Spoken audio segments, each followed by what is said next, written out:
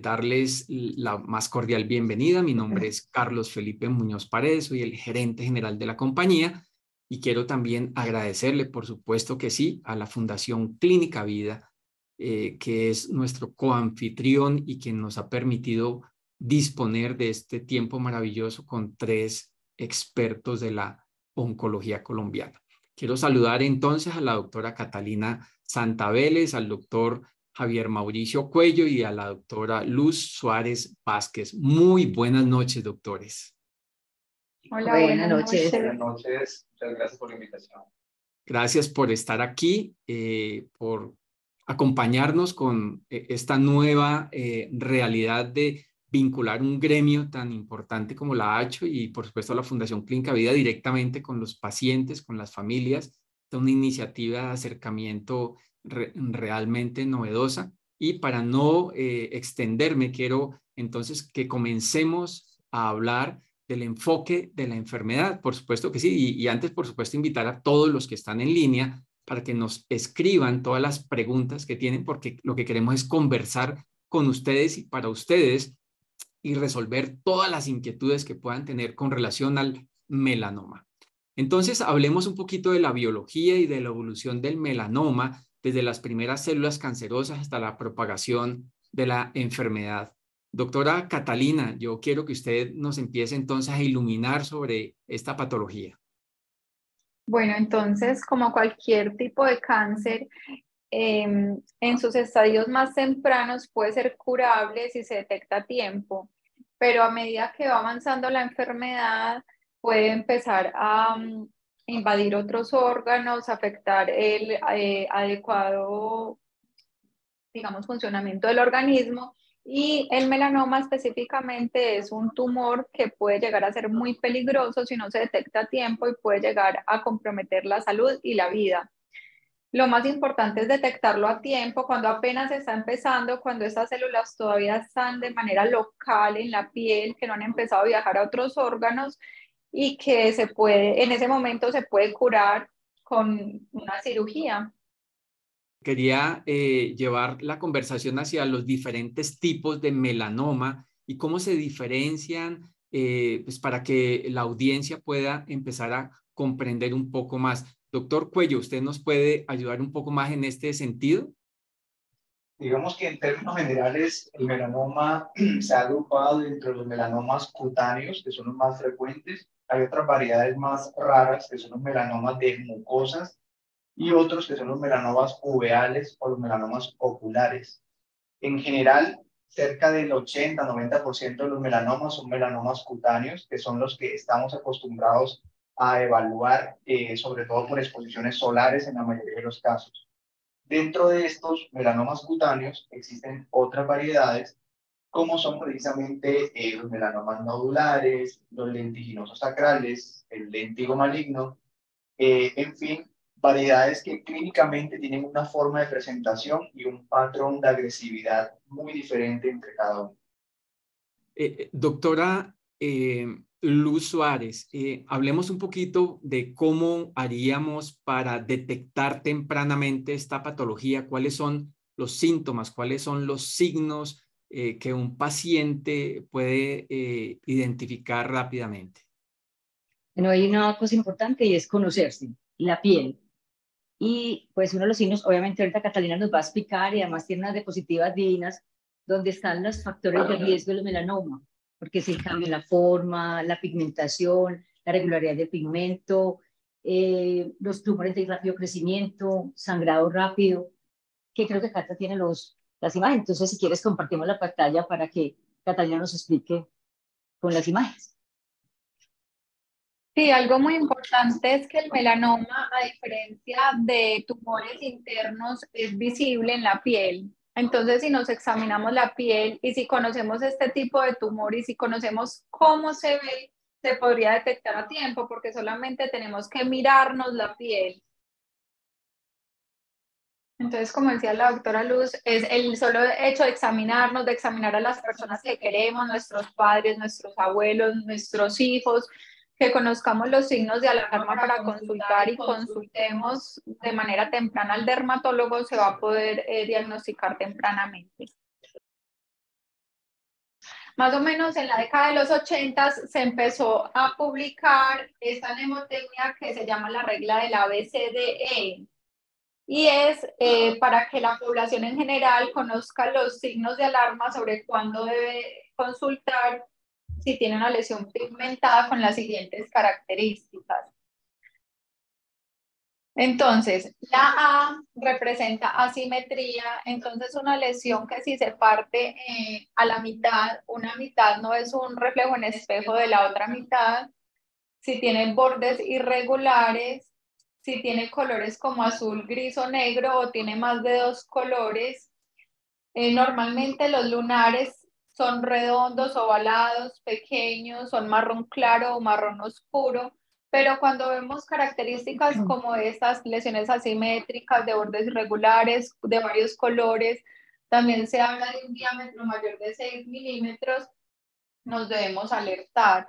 También la evolución, entonces lunares o lesiones pigmentadas que estén sangrando, que estén creciendo, que estén cambiando de forma o de color, que estén doliendo, que empiecen a presentar síntomas, que empiecen a picar, entonces debemos consultar. Estas son algunas lesiones que les eh, quiero mostrar. Miren aquí a la izquierda eh, son melanomas y las de la derecha son lunares benignos. Entonces miren cómo estas son asimétricas, de bordes irregulares, de varios colores, mientras que los lunares normales o benignos, como les decía, son redondos, ovalados uno, máximo dos colores, eh, simétricas, de bordes bien definidos y regulares. Y estas son cuatro foticos de los cuatro subtipos más comunes de melanoma cutáneo, que es el acral lentiginoso, que es el que ocurre en palmas, plantas o uñas. El tipo léntigo maligno, que es el que ocurre como manchas en la cara.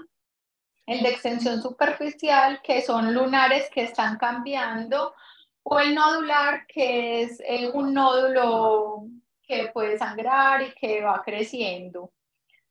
Y esta es una imagen mostrando cómo este paciente en su espalda tiene muchísimas lesiones pigmentadas, pero específicamente miren las que tienen las flechas, que tienen las características del ABCD, que son asimétricas, de bordes irregulares, y ese tipo de lesiones son las que nos deben alertar a consultar eh, tempranamente. Queremos continuar entonces con eh, preguntas relacionadas con la patología, especialmente con los principales factores de riesgo conocidos, como la exposición al sol, los antecedentes familiares. Entonces, quería ir con usted, doctor Javier Cuello. ¿Qué podemos agregarle a esta parte de, esta conversación? Como, como hemos conversado, el melanoma es un proceso de exposición crónica eh, a un factor muy claro que es precisamente la radiación ultravioleta.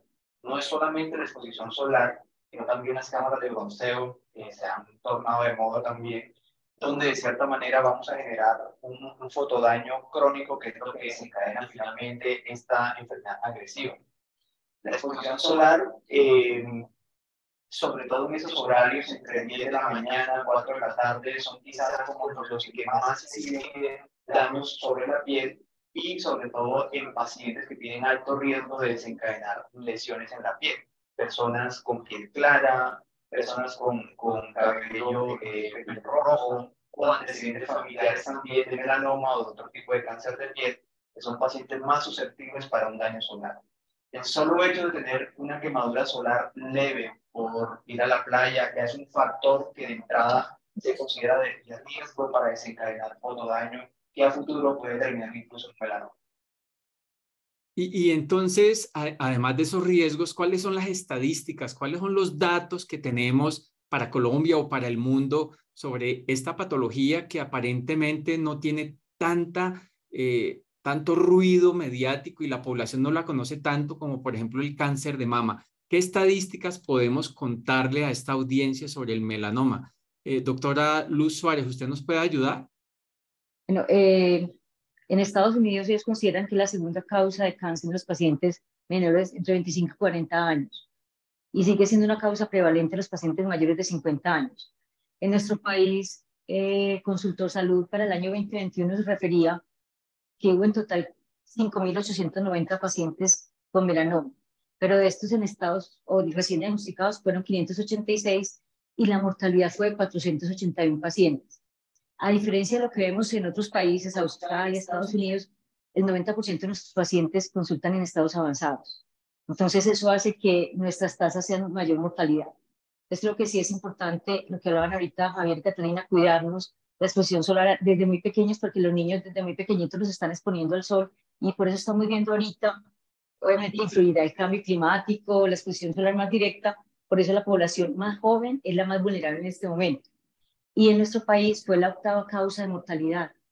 Entonces uno dice, pero es un cáncer no tan frecuente lo que usted decía ahorita, no es cáncer de mama, no es cáncer de colon, no es cáncer gástrico, pero sí melanoma causa una mortalidad importante y sobre todo el impacto eh, social, porque muchas veces las cirugías, así haya mejorado mucho la, la forma de diagnóstico, pero en nuestro país en los casos avanzados las cirugías pueden ser mutilantes.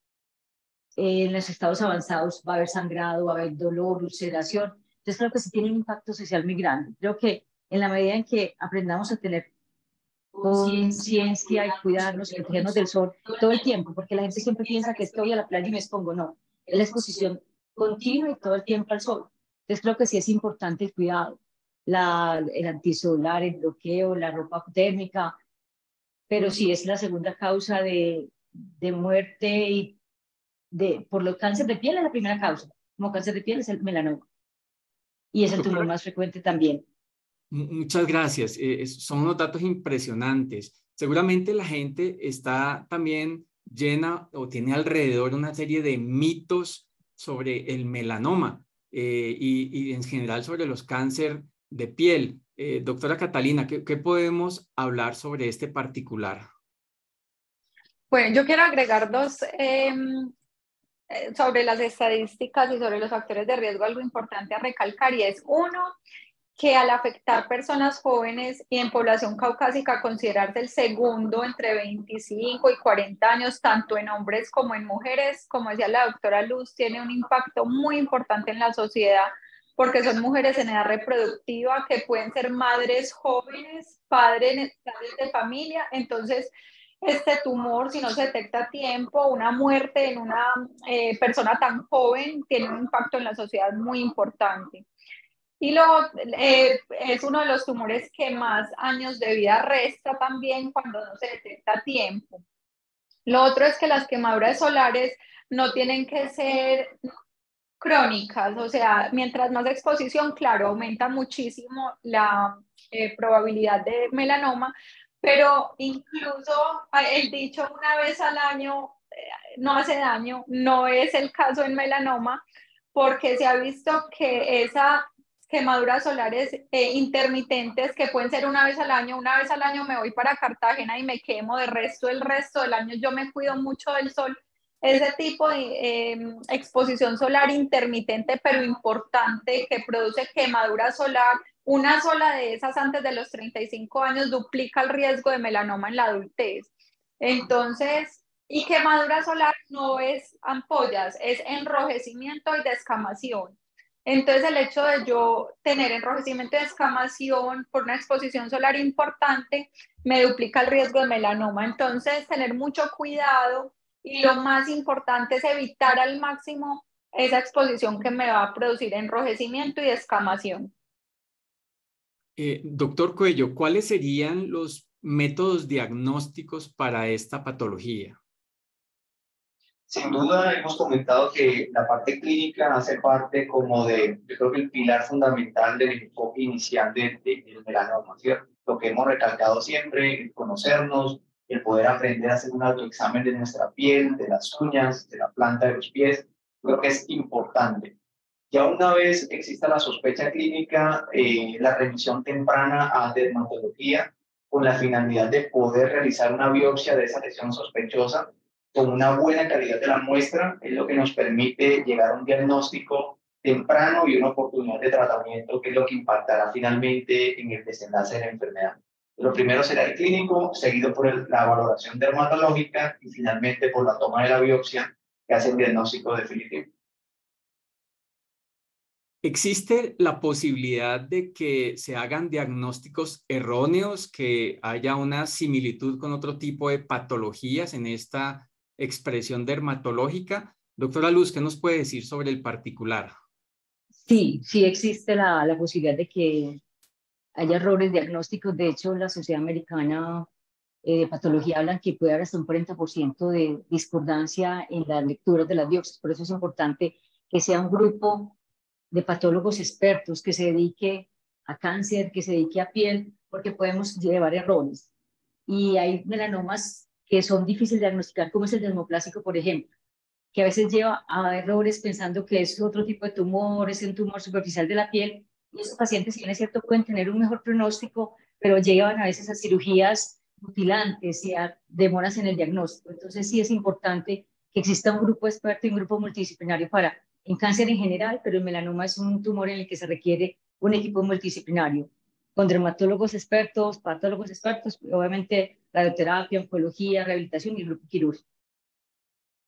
Es, muy importante, doctora, lo que nos está contando. Eh, ¿Por qué no nos profundiza un poco más sobre este tema?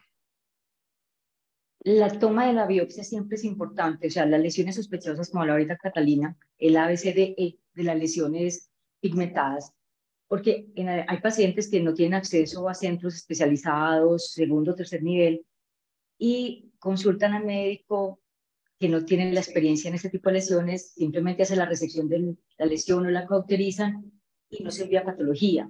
Muchos de estos pacientes pueden ser un melanoma, luego cuando regresan tres años o menos tiempo, son pacientes con una enfermedad con compromiso ganglionar extenso, pulmonar, y no encontramos el sitio primario, después dicen, es que hace tiempo me resecaron un año. Entonces creo que sí es importante que consultemos al experto, que no nos dé miedo preguntar, que nuestro sistema de salud actual permite eso, permite el acceso a diagnóstico, a oportunidades terapéuticas, biopsia, toma de examen. Entonces creo que es importante consultar, consultar con los grupos expertos, no quedarnos con la primera impresión que nos dan, sino que hay acceso a dermatología. O sea, lo ideal es un dermatólogo oncólogo, pero si no tenemos un dermatólogo oncólogo, los dermatólogos tienen el conocimiento para poder detectar ese tipo de lesiones. Entonces, creo que es ahí donde no podemos quedarnos con todo el respeto del mundo que merece el médico general, pero no se quiere tomar la decisión. Él debe conocer, alertar y enviar al paciente al dermatólogo. Muy interesante, doctora. Ahí, quiero entonces, se me ocurre en este momento que eh, quiero preguntarles sobre la cuenta de alto costo, porque realmente, pues en Colombia todos los prestadores y las EPS reportan de manera permanente a la cuenta de alto costo. En, su concepto, eh, esto está sirviendo, esto está haciendo algún tipo de presión positiva, estos rankings que están saliendo para que nos estemos metiendo más de lleno en el diagnóstico temprano de esta patología? ¿Qué opinión tienen? Yo creo que sí. Y en el reporte que ustedes hacen, a mí me llamó la atención es que Bogotá es el que tiene más demoras para el momento del diagnóstico. Desde que el paciente consulta hasta que se le hace el diagnóstico, se pueden demorar más de 45 días. Y pues la referencia que ustedes tienen dice que el resto del país lo hace mucho más rápido y que desde que consultan hasta iniciar el tratamiento va menos de 60 días. Realmente es un tiempo largo, pero tampoco es el tiempo mayor, pues porque hay que ver que es que hay que tomar la inmunistoquímica, ahorita hacemos más exámenes adicionales, la estadificación. Entonces creo que sí es importante, creo que sí es importante saber dónde estamos parados porque lamentablemente no hacemos un buen registro. Entonces no tenemos, no todo el país hace registro. Realmente el registro de cáncer lo hace muy juicioso, creo que es Bucaramanga, el eje cafetero, pero el resto del país no somos tan juiciosos realmente para hacer ese reporte de cáncer. Entonces creo que si alto costo sería una herramienta para nosotros poder identificar o aproximarnos a la incidencia de la enfermedad, a los costos que tiene la enfermedad. Yo quiero adicionar algo en cuanto al diagnóstico temprano de melanoma y es que los pacientes que tengan más de 50 lunares en todo el cuerpo deberían ir al dermatólogo mínimo una vez al año, porque cuando nosotros vemos los signos de alerta del ABCDE, eso es muy importante, pero eso es lo que se ve al ojo desnudo. Y nosotros los dermatólogos tenemos una herramienta que se llama la dermatoscopia. Eh, es, digamos, una lupa con magnificación 10x y tiene luz polarizada que nos permite ver como las capas un poco más profundas de la piel, la dermis, y nos eh, ayuda a ver signos muchísimo más tempranos de melanoma que el ojo desnudo. Entonces, estos pacientes que tienen factores de riesgo, que tienen más de 50 lunares en todo el cuerpo, que como decía el doctor Cuello, tiene otros factores de riesgo como piel blanca, ojos claros, pelirrojos, eh, que tienen historia familiar de melanoma, sí deberían ir mínimo una vez al año para revisar todos esos lunares con dermatoscopio y evaluar eh, si alguno de esos tiene signos sospechosos ya un poco más, específicos y más tempranos que podemos ver con el dermatoscopio para detectarlo a tiempo. Súper interesante, muy buen dato. Doctor Cuello, eh, eh, ahora que preguntaba de la HO, se me ocurre que en la consulta que ustedes desarrollan ¿Han notado algún tipo de diferencia en la parte de cómo se hace el diagnóstico o cómo se atiende tempranamente a los pacientes del contributivo versus el del subsidiado? ¿O en general usted tiene una percepción de un manejo homogéneo? Bueno, en general yo creo que la gran diferencia que se ve es sobre todo la oportunidad de la atención, ¿cierto? Si bien las herramientas terapéuticas disponibles a día de hoy son muy equivalentes entre el régimen subsidiado y el contributivo, la oportunidad en la atención, en el diagnóstico y en el tratamiento sí se ve gran diferencia. Recientemente, a través de la ACHO, se reportó y se publicó el Registro Nacional de Melanoma, donde se pudo demostrar precisamente que el régimen subsidiado per se eh, es un factor de mal pronóstico en melanoma y quizás no es tanto por la enfermedad como tal, sino la evolución. Todo lo que el paciente ha tenido que esperar para que lo vea el dermatólogo, para empezar la biopsia y finalmente para tener la oportunidad de un tratamiento oncológico. Esa diferencia es notoria entre el subsidiario y el contributivo y en una enfermedad oncológica, en este caso melanoma, sin duda impacta en la supervivencia. Entonces hay una diferencia muy notoria entre los dos sistemas de, de, de red.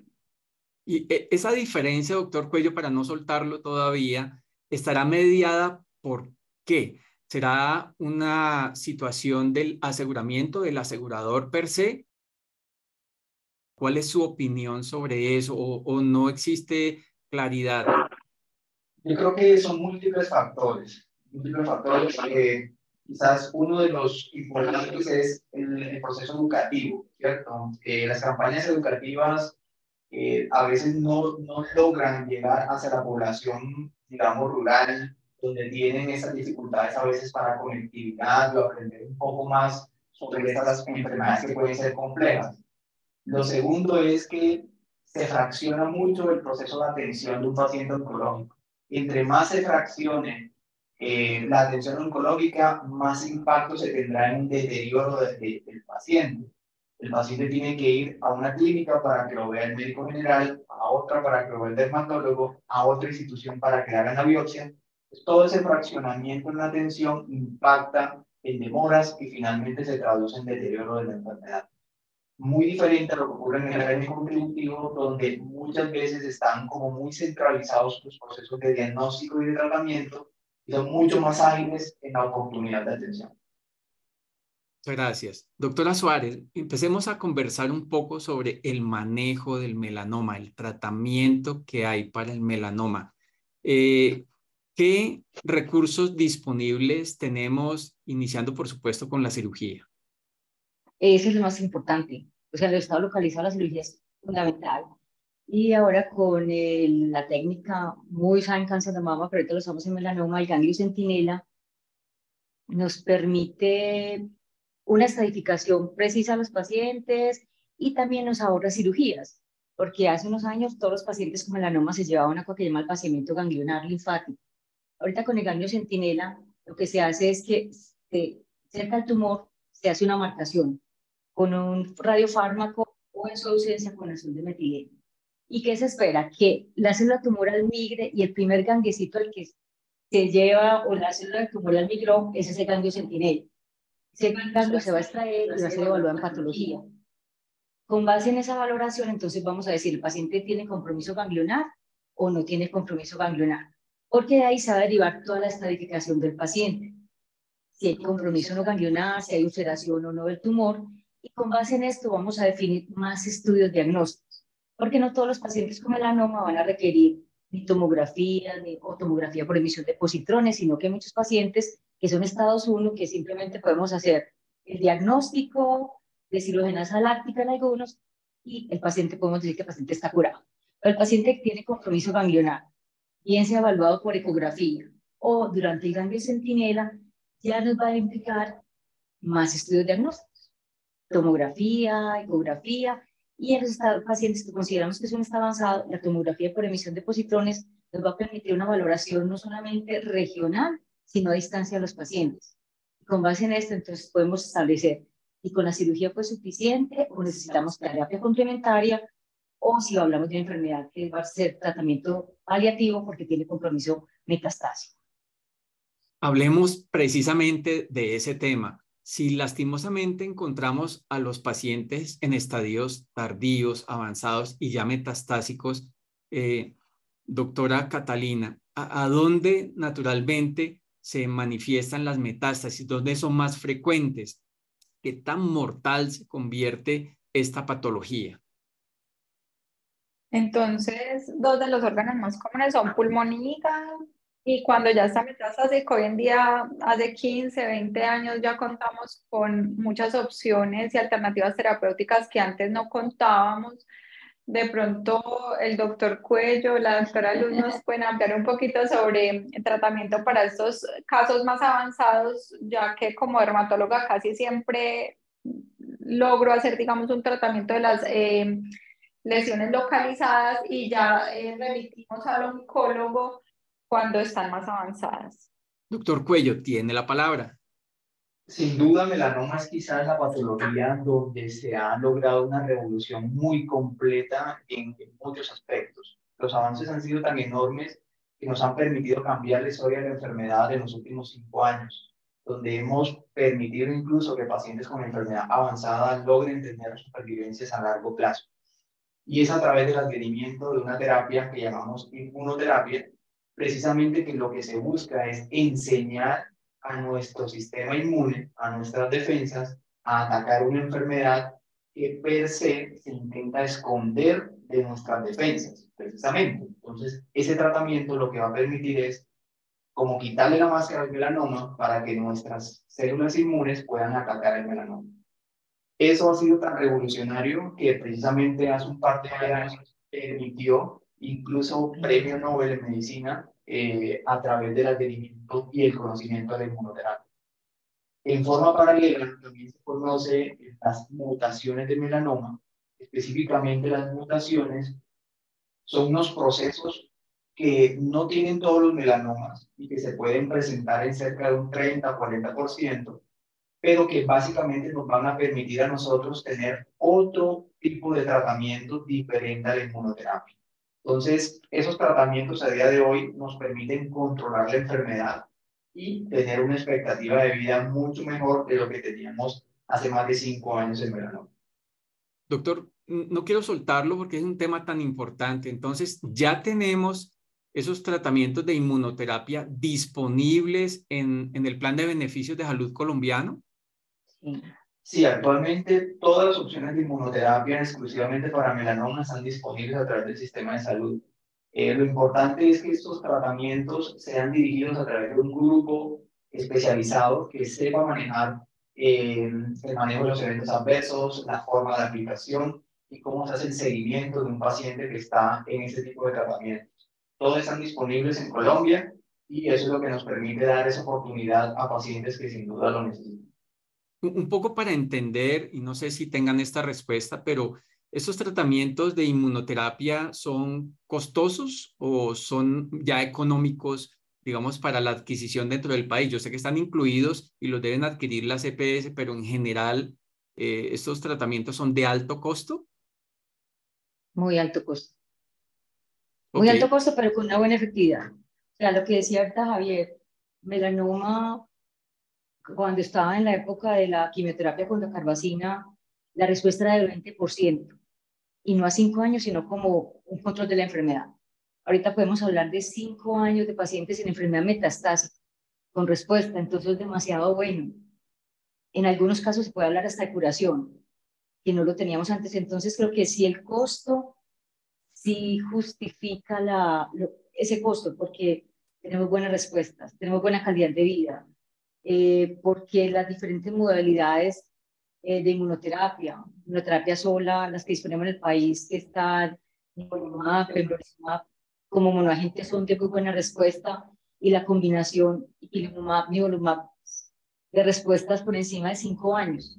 Entonces, cuando hablamos de un paciente vivo, metastásico, más allá de los cinco años, y que recibe un tratamiento durante dos años, creo que eso vale la pena, vale la pena el costo. Eh, cuando hablamos de las terapias blanco dirigido, también son costosas. En esto sí nos toca dejar al paciente todo el tiempo hasta la progresión, pero también podemos hablar de 3.6 años, pacientes metastásicos. Entonces creo que sí vale la pena el esfuerzo, sí vale la pena ese recurso de salud invertido en los pacientes, porque podemos hablar de control de la enfermedad y en algunos pacientes hasta un 20% curación, que no lo teníamos. Fantástico. Entonces creo que sí vale la pena. Entonces, debo preguntar algo, eh, doctora, porque lo que usted me dice me, hace, me hace indispensable saber para el auditorio si el médico, si el oncólogo tiene la autonomía para prescribir estas tecnologías en Colombia, porque ya me están diciendo ustedes que son costo efectivas, pero muy costosas, y ustedes se sienten plenamente libres de prescribirlas en cualquier tipo de paciente. Sí, sí, no depende del aseguramiento. O sea, la dificultad de melanoma llega al diagnóstico, logra el acceso a los centros especializados, pero una vez el paciente logra entrar a la valoración por oncología, oncología tiene toda la autonomía en el país de prescribir cualquiera de los medicamentos.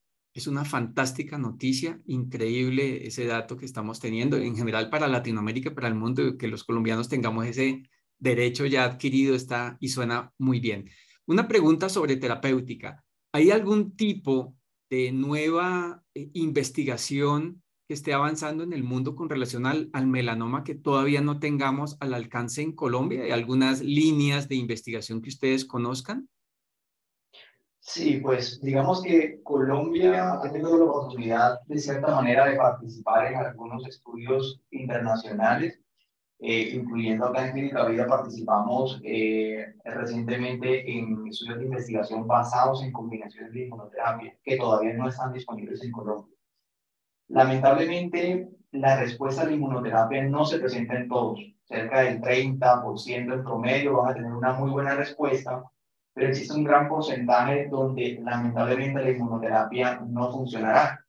Es ahí donde se encaminan otros esquemas de tratamiento recientemente, que son las terapias celulares adaptativas, que se llaman eh, TILS o linfocitos infiltrantes de tumor.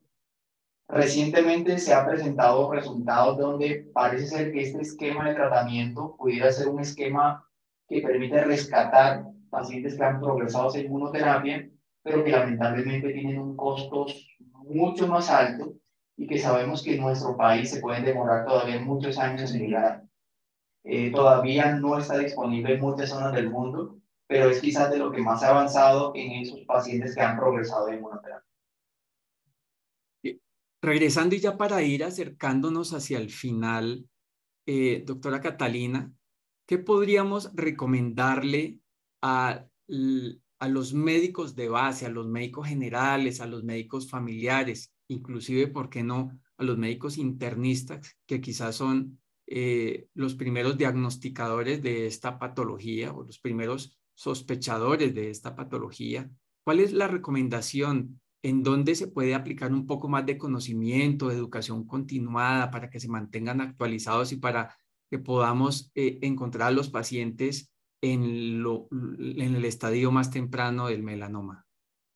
Entonces han hecho muchos estudios sobre cómo el médico general tiene un rol importante o otros especialistas en el diagnóstico temprano y la prevención de melanoma, eh, especialmente en Australia, que es uno de los países con mayor incidencia y prevalencia de melanoma, y eh, tienen un papel muy importante en educación. Entonces, si tienen entrenamiento sobre melanoma y lo conocen, tienen la capacidad de repetir y, digamos, hacer que repercuta en la, en la sociedad los comportamientos eh, de protección contra el melanoma, que ya les voy a hablar un poquito, y el diagnóstico temprano. Entonces, poder en la consulta eh, hablarles a los pacientes sobre el autoexamen de piel, hablarles sobre los signos de alarma de esas lesiones que tenemos que preocuparnos o queremos consultar a tiempo y sobre la protección solar. Entonces, mm, hablar sobre nanoexposición en horas del mediodía, buscar la sombra, usar sombrero, sombrilla, protector solar, ropa con protección solar, porque vemos que a pesar de que ya se sabe los daños que ocasiona la radiación ultravioleta, todavía hay muchísima exposición al sol, al sol, a cámaras bronceadoras, eh, todavía se está buscando ese bronceado que es una respuesta al daño, o sea, si tenemos bronceo quiere decir que hubo daño y mutaciones en el ADN. Entonces, y hay, hay estudios donde en facultades de medicina y enfermería los médicos y, y las enfermeras se están exponiendo al sol y y entonces es eh, tener muy claro esa información, asistir a todos esos espacios de entrenamiento donde puedan eh, aprender cada vez más sobre protección y detección temprana y eh, repetir esto en, en, la consulta, en sus ambientes familiares y, y que así todo el mundo vaya educándose al respecto y se conozca más, porque como les decía al principio, el melanoma se puede ver, a diferencia de un cáncer gástrico de colon, que no, pues, no se va a poder detectar pues fácilmente. Acá simplemente revisarnos la piel y conocer las lesiones que tenemos, que, pues, que tienen signos sospechosos de, eh, que debemos consultar. Y, y, tenemos la posibilidad de prevenir si tenemos comportamientos de protección solar. Doctora Catalina, eh, esto seguramente eh, lo conocen muchas personas, pero eso del protector solar tiene grados. ¿Qué grado de esas cremas protectoras es el que se recomienda y a partir de qué grado ya es la protección exactamente igual? ¿Nos puede iluminar un poco sobre eso? Entonces, algo que quiero aclarar también es que la radiación ultravioleta es aquella que está directa con exposición solar, o sea, las ventanas casi todas tienen eh, protección contra radiación ultravioleta, no contra luz azul, luz visible, que puede producir envejecimiento, que puede producir manchas de piel, pero no va a producir cáncer de piel. Entonces, lo más importante es evitar esa exposición directa. Si estamos en interiores, estamos eh, en la sombra, estamos protegidos contra esa radiación ultravioleta, que es la que produce el cáncer de piel. Eh, tener mucho cuidado de que el protector solar no es 100%. Entonces, ah, tengo protector solar, puedo salir y exponerme. Y no, al mediodía ni con protector solar deberíamos exponernos directamente porque ningún protector solar es 100%. Incluso ha habido estudios donde muestran pacientes que no se exponen sin protector solar, perdón, que no se exponen al sol versus pacientes que se exponen con protector solar y los que se exponen con protector solar eh, tienen más riesgo de cáncer de piel y melanoma. Entonces, mm, tener cuidado con esa falsa sensación de que el protector solar me está protegiendo completamente. No, tenemos que buscar la sombra y especialmente en esas horas del mediodía. Em, después de 30, ya casi todos son, digamos, eh, la misma protección. Eh, porque eh, el factor de protección solar 30 no es 30%, es como por decir 95%, 50, 97% ya prácticamente son lo mismo, pero ninguno es 100% y ese 3, 4% de radio, eh, porcentaje de radiación ultravioleta que estamos recibiendo puede ser muy importante si es en horas del mediodía. Muy bien, súper interesante. Vamos a, cerrar entonces eh, con usted, doctora Suárez, y luego con usted, eh, doctor Cuello. Eh, yo quería que le dijéramos a la audiencia si un paciente tiene ya la sospecha de un melanoma, a dónde debe acudir, cuál es su puerta de entrada según la experiencia que, que nos pueden compartir. Al dermatólogo, sin duda, para que dermatología la ahorita Catalina, con dermatoscopio, con las técnicas que ellos tienen para empezar a mirar las lesiones sospechosas, determine si se requiere una biopsia. Y ya con la biopsia, pues empieza todo el diagnóstico. O sea, una vez confirmado el melanoma, ya empezaremos a hacer la estadificación, la valoración clínica y los estudios que requieran.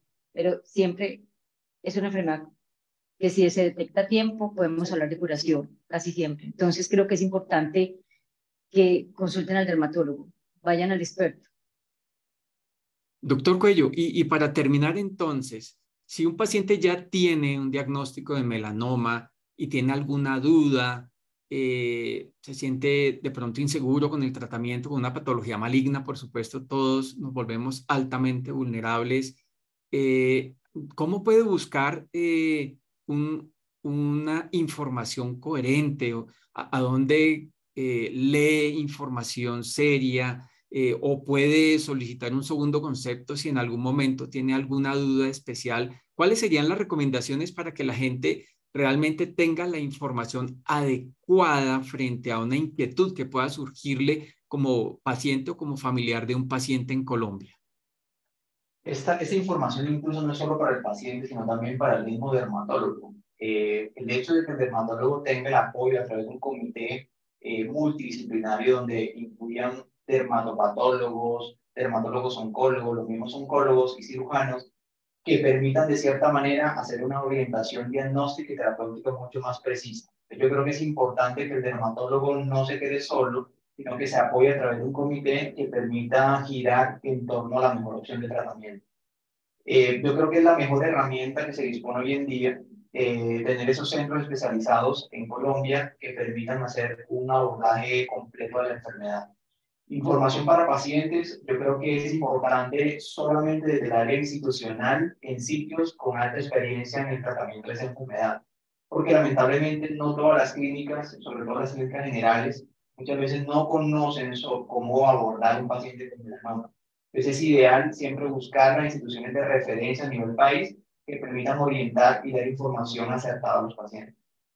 Tenemos en Colombia, doctor, eh, guía de práctica clínica o tenemos algún consenso o algún protocolo en el que seguramente todos los médicos estén fiándose para el manejo de esta patología o hay alguna variación dependiendo del aseguramiento o de la escuela donde se formó el oncólogo?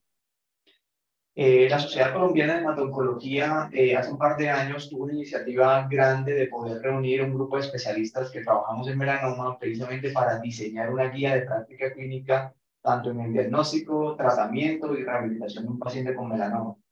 Estas guías están, de hecho, disponibles en la página eh, web de la sociedad y precisamente al médico general y al mismo dermatólogo le puedo orientar mucho sobre cómo abordar un paciente desde la etapa temprana de la enfermedad.